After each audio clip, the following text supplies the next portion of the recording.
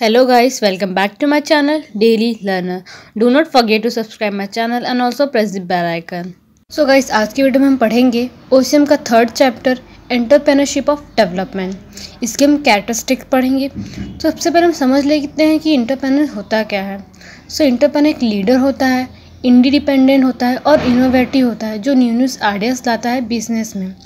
वो एक ओनर होता है प्रोड्यूसर होता है और मार्केट क्रिएटर होता है उसको डिसीज़न टेकर ही बोलते हैं और रिस्क टेकर ही बोलते हैं। अब हम इसकी मीनिंग्स देख लेते हैं। So entrepreneurship is a full time job which require dedication and hard work so internship मतलब ये होता है जिसमें तुमको जॉब करना पड़ता है फुल टाइम जॉब करना पड़ता है बिज़नेस में। उसके लिए तुमको डेडिकेशन देना पड़ता है और तुमको हार्ड वर्क करना पड़ता है बिज़नेस में। सो इंटरप्रेनरशिप आर इनोवेटिव वो इनोवेटर होता है न्यू न्यूज़ आइडियाज़ लाता है बिज़नेस में। They are owner producer market creator decision taker risk taker are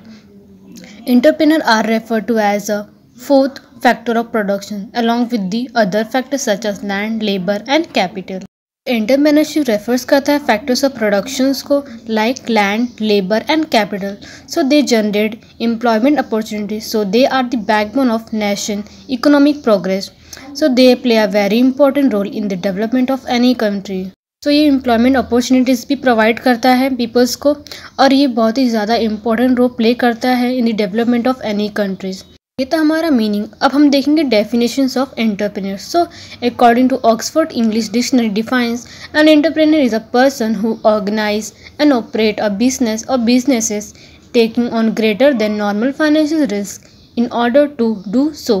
इसको डिफाइन किया गया है कि जो एंटरप्रेन्योर है एक पर्सन है, वो एक ऑर्गेनाइजर है ऑपरेटर है for the business and businesses for the taking a greater than the normal financial risk in order to do so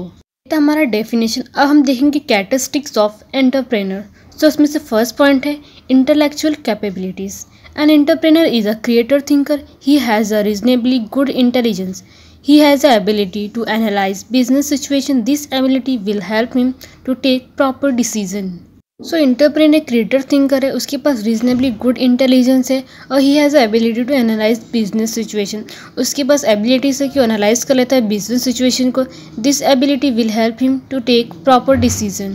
तो second point is future vision the entrepreneur has a good foresight about future market situation he should also have knowledge about the external business environment so entrepreneur के पास एक foresight है जो आप predict कर सकते हैं कि फ्यूचर मार्केट में सिचुएशन में क्या होगा. Uh, he has a knowledge about the external business environment so this will help him to take proper decision according to the situation and changes in the market so he can take timely action for the same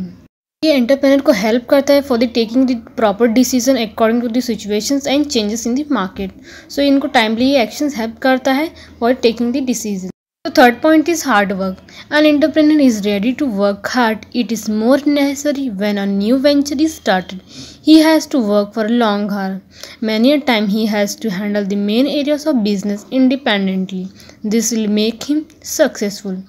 So entrepreneur हमेशा ready रहता है work hard के। So it is more necessary when a new venture started और वो entrepreneur हमेशा long haul के लिए काम करता है। मेनी टाइम ऐसा होता है कि जो बिज़नेस एंटरप्रेनर होता है, वो मेन एरियाज़ को हैंडल करता है independently so this will make him most successful in the organisation and in the business so fourth point is technical knowledge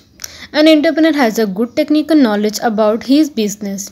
The entrepreneur has the ability to update himself with the latest knowledge and about the product, progress and technology. So so, entrepreneur के पास हमेशा good technical knowledge होती है about his business और entrepreneur के पास abilities होती है कि खुद को अपडेट करता रहता है according to the latest knowledge about the product progress and technology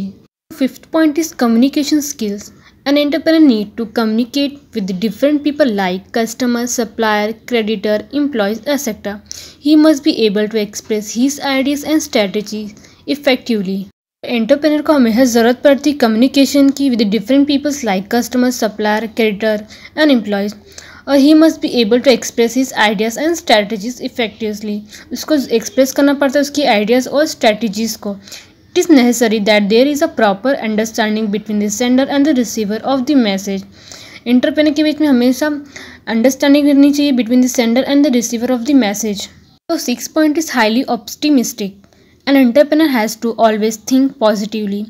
He is always hopeful and confident about the market situation even in failure time. Such positive attitude help him to run his business successfully. Entrepreneur हमेशा positive ही thinking रखता है और वो हमेशा confident और hopeful रहता है about the market situation in the failure time entrepreneur जो हमेशा पॉजिटिव थिंकिंग रहता है तो उसको ये हेल्प करता है for the run his business successfully so seven point is risk bearing capacity so a successful entrepreneur take calculate risk he is ready to face challenges and always seek new and more opportunities तो एक successful जो entrepreneur होता है, वो हमेशा calculate करता है risk को और वो हमेशा रेडी रहता है चैलेंजेस के लिए and always seek news and more opportunities so eight point is self confidence An entrepreneur has self confidence He has to positive deserve to achieve his goal. Such self-motivation keep him strong and confident to face various obstacles. Entrepreneur हमेशा self confidence रहता है उसकी जो positive desires रहती है for to achieve his goals के लिए